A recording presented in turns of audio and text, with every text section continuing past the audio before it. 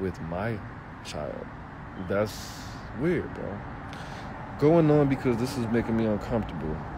Now, if you guys don't know, there is a guy, a white guy, named Kelpy, Lil Kelpy. He calls himself Kelpy the Pimp.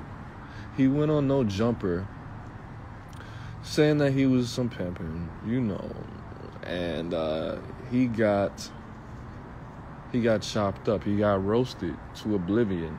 He was called multiple bitches. He was called the F word. And he came back to No Jumper twice. The second time he came back to No Jumper, he got physically assaulted by a rapper named Almighty Suspect. Now, the fact that he allowed that to happen the first time, all the name calling, all the disrespect, and he didn't walk off, that says a lot. The fact that he came back to go viral again, that says a lot. Now, do I think it should have happened? I don't think it should have happened on camera. I think it was great podcasting. The numbers went up. They got a million views in like a day. They're probably at like four million right now. But at the end of the day, again with this with this Charleston White Kanye West mentality, bro.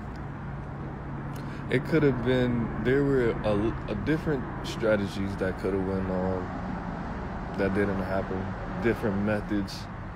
There could have been a lot more, but you took the bitch way out. You knew that this was gonna happen. I don't like when he lies. There's a lot of lies coming out of his mouth. I don't like when he lies. The reason that he was on that kratom, I don't even know what, the, what, what kratom is for real. Um, he said he takes it so he doesn't have to do his opioids or opiates, two different things, and uh, he wasn't.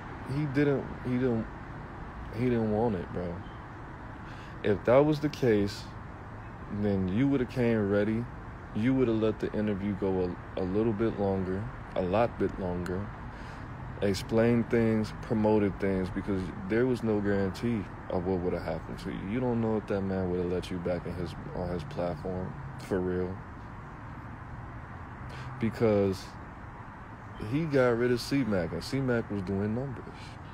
I don't know if he did more numbers than Kelpy necessarily, but that wasn't smart to gamble with that because like another YouTube like for the Peace said, bro, you don't put out any new music, you don't put out any merchandise, you haven't done any of that. So you're really just going on there saying your name, putting this information out there, promoting the little girl's OnlyFans, and bro, she's trash, bro.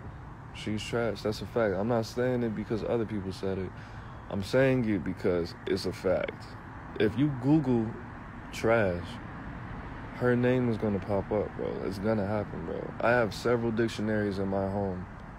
Biblical dictionaries, Spanish dictionaries, English dictionaries. Before I made this podcast, I looked at all of them, and when I looked up the word trash, her face was next to all of them, bro. That's a fact. The other Spanish dictionary, basura, her name was in there with her face. It's a synonym and a noun as well as a verb. So that's not a good look for you, bro it was um it was a bitch move. It was a bitch move because you could have got him fired. I mean, that was his own decision to to get up and hit you in the face all those times and you did nothing. You tried to swing back. That's not true. You were incapable of reacting at all because you were high. Because you wanted to be high because you were scared. That's what happened and say it like that. Next topic, man.